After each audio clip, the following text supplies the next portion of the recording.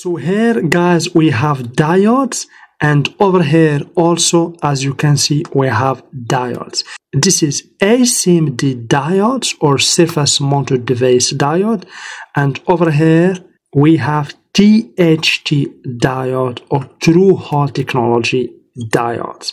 So I'm going to teach you how to test SMDs and THT. So let's get started. Of course, let's put the multimeter to the buzzer or to the diode option as you can see over here. Let's begin with this kind of diodes THT. So here as you can see for beginner, here we have cathode and here anode. Let's test first this kind of diodes first. So easy, the black probe here in the cathode, the red probe in the anode, we get a reading 500, good.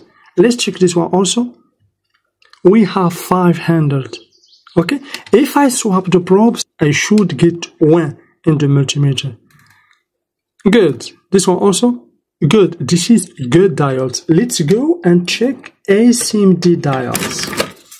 Over here guys we have SMD diodes. Let's look at the cathode. Over here we have the cathode. So the black probe here the red probe in the side 500 400 good? Okay. This one we have 400 if I swap the probes I get about 1 I get 1 good. This one 1 good. So good diode. So guys the THT diodes and SMD diodes has the same working principle